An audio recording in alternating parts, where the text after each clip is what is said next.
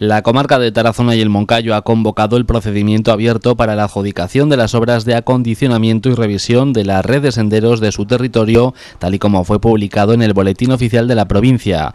El plazo para presentar ofertas finaliza a mediados de este mes de mayo.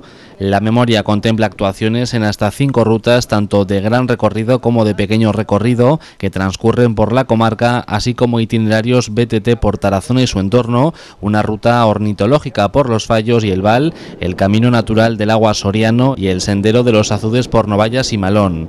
Según acordó la Junta de Gobierno, el contrato contempla un plazo de ejecución de los trabajos de tres meses. En cuanto a los criterios de adjudicación, son varios los que se tendrán en cuenta. Por ejemplo, se otorgará la puntuación máxima de dos puntos a la oferta más económica. Todos aquellos oferentes que realicen las obras en el plazo no inferior de dos meses y medio y por debajo de tres se llevarán un punto.